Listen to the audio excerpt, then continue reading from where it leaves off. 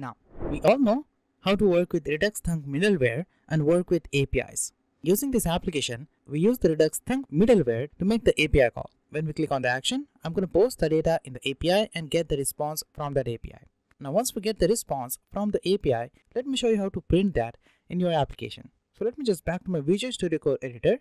And here you can notice I have here a console statement. Inside that, I have here to-dos variable. Inside this to-dos, I have this state object. Inside this object, we have error, loading, and to-dos array. Inside this to-dos, right now I don't have anything. But when I click on this change action, I'm going to have value inside this to-dos. You can notice here. Inside this to-dos, I have one to-do with title, body, user ID, and ID.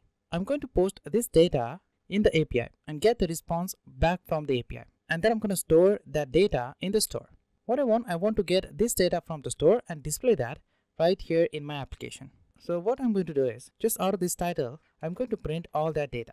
I'm going to simply first create here a division tag and inside that, I'm going to create h3 heading tag. Inside this h3 heading tag, as you know, we have here a variable called to-dos. I'm going to just call that here. And inside that, as you can notice here, I have to-dos k. Now let me just change the variable name here. Instead of to-dos, I'm going to say here container. That will make sense. Let me just change this container. Let me just change the variable name.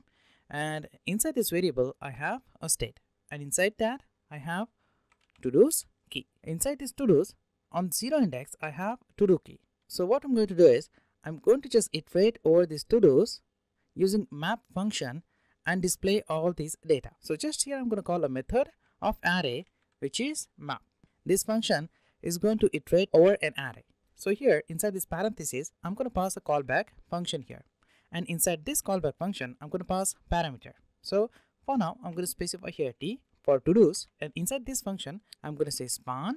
And inside this span tag, right here inside this curly braces, I'm going to say t dot to do dot title. As you can notice here inside this array, I have this to do key and I'm going to access this title key value. Let me save the changes back to my browser. Oops, I'm not going to get anything here because we need to return this value instead of just specifying that inside this function. So instead of this curly braces, I'm going to pass here parenthesis just like this. As you can notice, I'm going to have here foo as a response. In the console, you will notice I'm going to have here a warning. Each child in the list should have unique key. You all know how to work with this warning because in the previous lectures, we understand how to solve this warning. Let me refresh that again and show you how you can solve this warning. So what I'm going to do is, I'm going to just grab these curly braces right from here, cut that and paste that just after this h2 heading tag right here. And inside this right here, I'm going to create this div and h3 heading tag. And inside this function right here, I'm going to get rid of this span tag and use my division and h3 heading tag. So inside this map function right here, I'm going to create a division tag and inside this, I'm going to create h3 heading tag. And what I'm going to do is, I'm going to specify key to this division tag and I'm going to specify curly braces here. Inside these curly braces, I'm going to get the index value of this to do. You can notice here inside your to-dos, you will get this index value. This is right now 0. I'm going to pass this value right here. So as a second argument to this map, here I'm going to specify i. i for index. You can specify any name to both these parameters. That's upon you. Inside this key, as value, I'm going to specify i, the index value, to uniquely identify this division tag. And inside this h3 heading tag, here I'm going to pass curly braces, specify t for to-dos, and then I'm going to say to-do dot title and reload my browser. Just out of that, when I click on this change action, you can notice I'm not going to get any warning here. I'm going to get response what I want.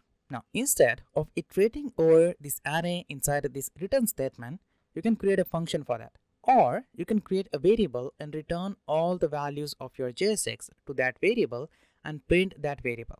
For a practice, put this statement inside a separate component and call that component here and print all your API values. Now let me show you how you can create a variable and store all your JSX value inside it. And using that variable, I'm going to print all my data. Let me show you what I want to say. At the top, before this return statement, here, I'm going to create a variable called constant list items is equal to and then I'm going to pass this statement just like this. Instead of this curly braces.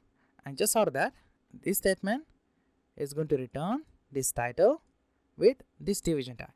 And then what we need to do is we need to just copy this variable and inside this curly braces you need to just print that variable. Reload the browser and try to click on the action button.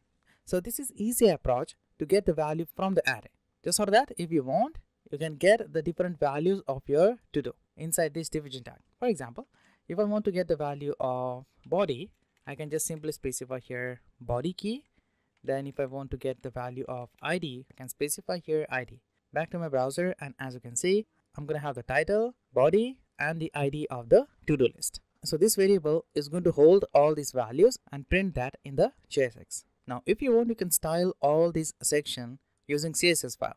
For example, let's say you want to center this title. You can simply create a CSS file for that. Let me import the CSS file here. I'm going to say import. In a single quote, I'm going to specify double dot forward slash and then I'm going to specify app dot css. I'm going to import this app dot css file. We already have this file in this project. I'm going to use that here and inside this file I have a few classes. I'm going to use this app class inside my project. Here I'm going to say class name is equal to and in the double quote I'm going to say here app. As you can see this will just center this to do redux application title. So if you want you can style your application using the CSS file or you can create a dedicated file for this component and style your application. Now I hope you understand how basically the Redux application works. Next, we're going to see how to work with the backend of the application. So in the next lecture, we will start learning MongoDB database.